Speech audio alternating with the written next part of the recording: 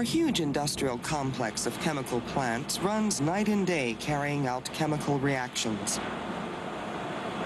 A cell can produce an array of very complicated and pure compounds, each perfectly designed for a specific function.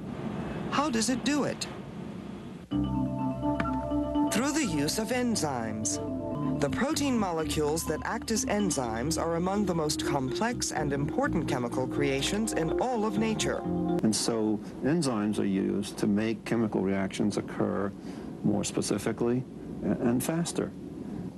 If you can understand how a boat fits into a dock, you can understand how enzymes perform their catalytic action.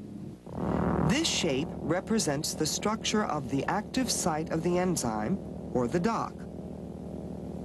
The enzyme and this molecule are attracted to each other, but the molecule can only enter the enzyme in one way, so that each shape on the boat fits into the appropriate space in the enzyme dock.